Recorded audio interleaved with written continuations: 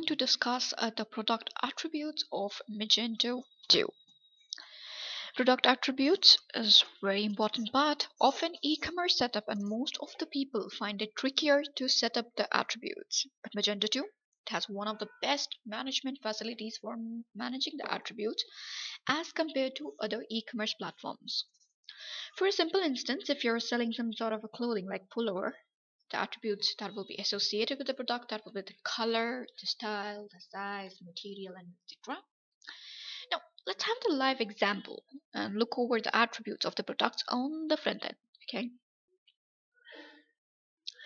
Example I'm here going to take is of Montana wind jacket. The attributes associated here is SKU, the stock keeping unit. Then we're going to the color, and there's a size having so many options just small extra small medium and all. Then going below we are having details uh, giving you the product description then more information telling you about the style material the pattern climate etc magento 2 guys we are having some predefined attributes like name price description which can be used for any of the product and in combination with these you can create new custom attributes for your clients as per their choice. We are going to see just that how we're going to do that. Here you see the dashboard for the website admin. Under the stores thing you're going to go to the attribute section and then fetch this product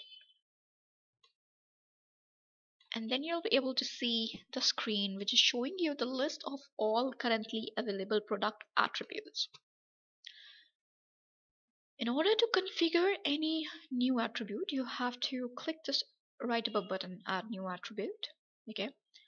Now we're going to discuss how we configure these attributes and for that example I'm going to take is of color.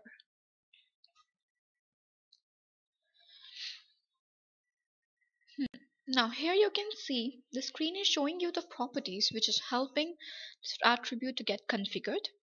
First, this is a default label. It is the name of the label of the attribute you're gonna give, uh, which is color in this case.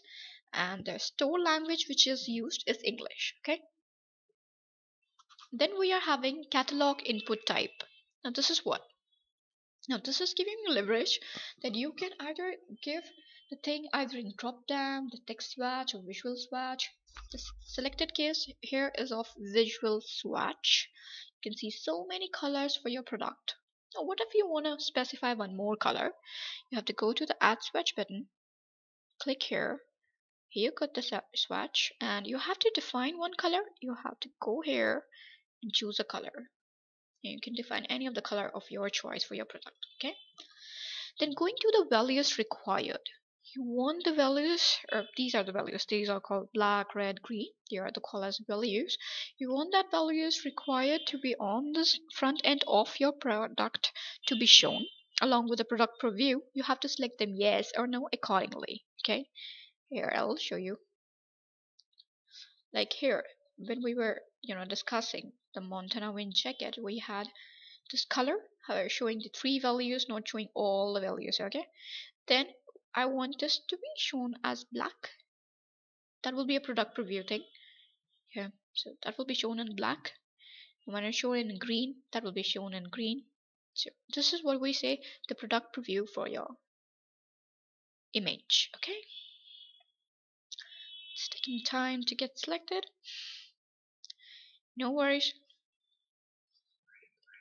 now it is staged now let's get back to the main screen now here we have having advanced attribute properties. Under advanced attribute properties, the first thing is attribute code. This is the name of the attribute which is you're going to use for your system. Okay.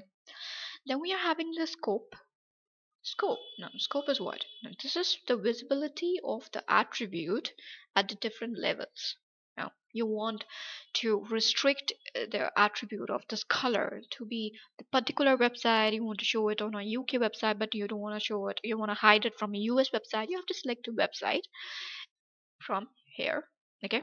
And if you want to go for uh, you know this visibility to be shown for all the websites all the store views you have to select global which is already selected here okay? Then going to the input validation for the store owner this is validating the data before you're applying the changes for the attribute okay?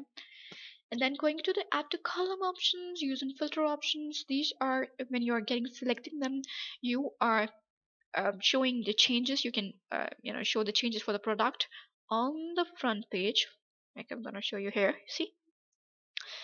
This is the filters which we used for the color you know you want to use them or not you can select from there. Then going to the main screen again we are shifting to manage labels. Now this is what? This is managing the language of your attribute which is here as I mentioned earlier also that is English. But in case of your multilingual stores you can add as many languages you want like Spanish German French as per the requirement okay Going to the storefront properties, these are the additional properties which are making you know your attribute to interact with different things on the front end. Right. Going here, use in search. You want this uh, attribute, color attribute, to be used as a keyword in the search box on the front page, yes or no. Okay. You can select yes or no from here. Okay. Like here, then we can see okay I've selected white here already for you. So everything in white will be displayed here. You know this white hoodie the white jacket. After that when we are shifting main screen again. Next thing is you want to show that comparable on storefront right? You want the thing to be comparable on the storefront in that sense you want to compare two or maybe three or four uh, maximum um, any you know, your choice is up to you. You can select two or more different products and can compare them on their particular attribute. I've given an example here. See. This is like a t-shirt a hoodie a jacket okay and I'm comparing them but I haven't selected the color attribute to be yes. So you cannot see the color attribute here right? But if I select yes then you'll be able to see that okay? Now when you move to this used in layered navigation you can see that it is coming in a layer. You know these are called layered navigation of the style size climate color material coming in a layer right? Then you'll be getting the position option must be there. Yes the position option you can see here. You want to define whether it should be on the one two three four. It will arrange it accordingly okay? And most of the options are they are self-explanatory but still if you find something fussy you are not able to understand that you can easily reach us. Uh, we will be available for you all the time at the metrit.help at the matridtech.net. Okay. Going back to the section, here we're having use for the promo rule condition. This is like defining the attribute into the promo code, which you're using for the special offers or discounts or something. Okay. Then we are moving to like use for the sorting and the product listing. When you see a product, you see here the sort option right?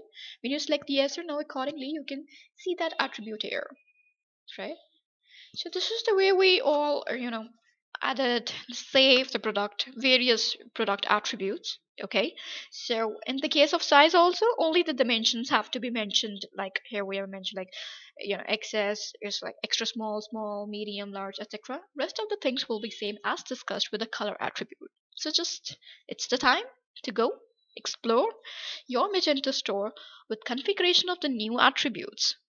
And what else? Well, you can ask your queries to us at metrit.help at the rate of matridtech.net. Let your Magento store to act as magnet to attract the customers with our Magento help. Have a great time. Take care.